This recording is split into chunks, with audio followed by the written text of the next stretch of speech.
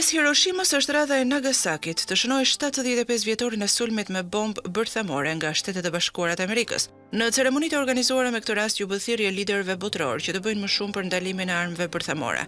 Në orën 11:02 minuta, koha e saktë kur bomba atomike u hodh mbi këtë qytet, të mbijetuarit dhe pjesëmarrësit e tjerë mbajtën një minutë heshtje për të nderuar 7000 viktimat Bombardimi i nëntë gushtit dyzet e pesë erdhi tre ditë pasi Shtetet e Bashkuara hodhën bombën e parë bërthamore në Hiroshima, sulmin e parë në botë me një armë atomike. Nga sulmi në Hiroshima u vranë njëqind e dyzet mijë vetë. Japonia u dorëzua më pesëmbëdhjetë gusht dyzet e pesë, duke i dhënë fund Luftës së Dytë Botërore. Kryebashkiaku i qytetit të Nagasakit, lexoi një deklaratë paqeje ku ai ngriti shqetësimet lidhur me zbrapsjen nga përpjekjet për çarmatim të shteteve që kanë armë bërthamore. Ai veçanërisht përmendi Shtetet e Bashkuara dhe Rusinë, duke thënë se po rrisin rrezikun e kërcënimit bërthamor, duke hequr dorë nga Traktati për Armët Bërthamore.